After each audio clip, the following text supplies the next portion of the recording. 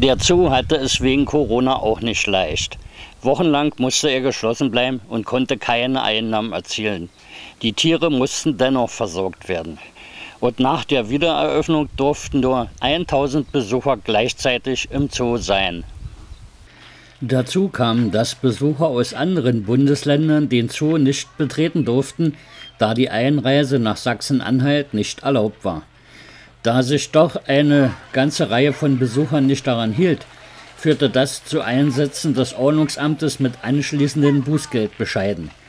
Inzwischen wurde diese Beschränkung jedoch wieder aufgehoben.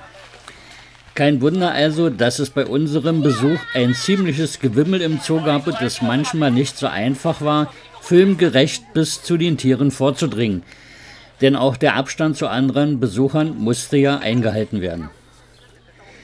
Für den Rundgang um Afrikambo mit den Elefanten und Wildhunden hatte sich der Zoo eine Einbahnstraßenregelung einfallen lassen, an die sich auch alle Besucher hielten.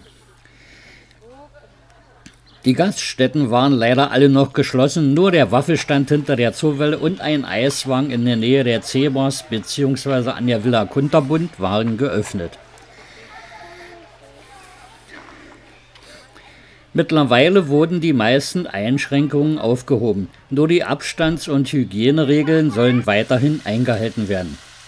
Dafür ist der Zoo derzeit, also Stand Redaktionsschluss, von 9 bis 19 Uhr geöffnet. Für aktuelle Änderungen schauen Sie bitte auf der Homepage des Magdeburger Zoos vorbei. Und jetzt erfreuen Sie sich einfach an unseren Bildern.